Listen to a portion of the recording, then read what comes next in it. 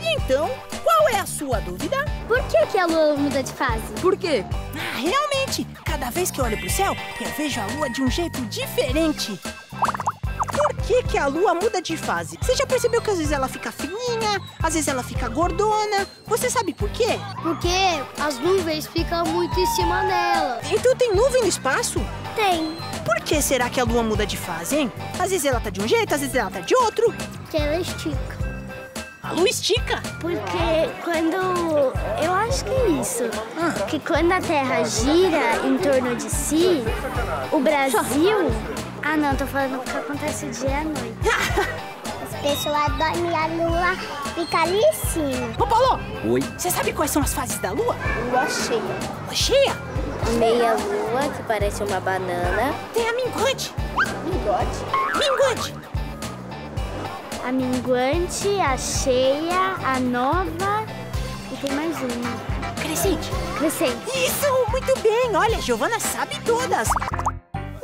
Oi, professora Ednilson, tudo bem? Oi, Lud, tudo bom? Ah, tudo bem. O, o Ednilson, ele é astrônomo, o que quer dizer que ele entende tudo do universo e também da Lua, não é? Isso mesmo. Ah, e você pode explicar pra gente por que, que a Lua muda de fase? Claro, se você está fazendo essa pergunta, é que você sabe que ela passa por quatro fa- fases principais: lua crescente, cheia, minguante e lua nova. Ah, isso mesmo, eu sei assim, porque eu vi lá no céu.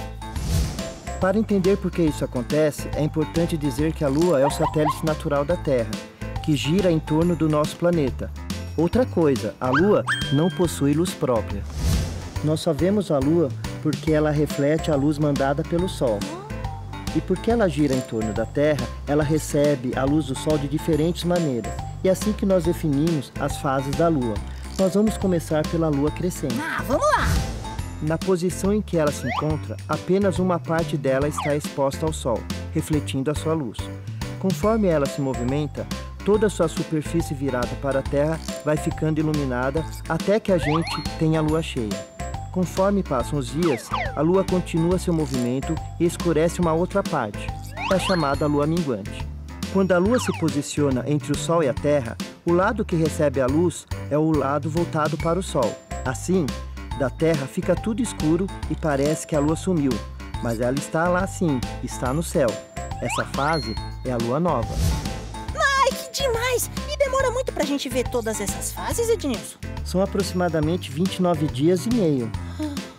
Nossa! É quase um mês, né? Puxa vida, mas sabe, quando eu crescer, eu vou virar astronauta! Que legal, espero que você continue gostando de astronomia. Ah, com certeza! E vocês, Ticulicos, gostaram da resposta? Entendi tudo, Lud. Tchau. Ah, e até o próximo! Qual é a sua dúvida? Ah, enquanto eu tô aqui, ó, treinando pra ser astronauta! Compartilhe os nossos vídeos com o universo inteirinho! Até mais, tchau! Lá vou eu.